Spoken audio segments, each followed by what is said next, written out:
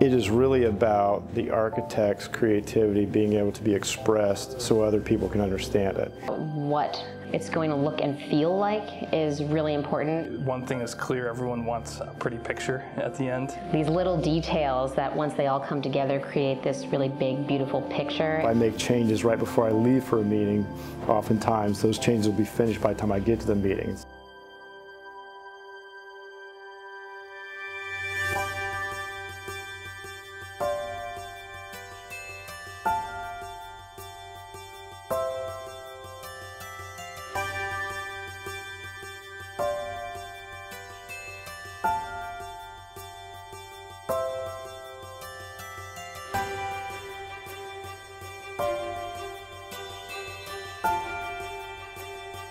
You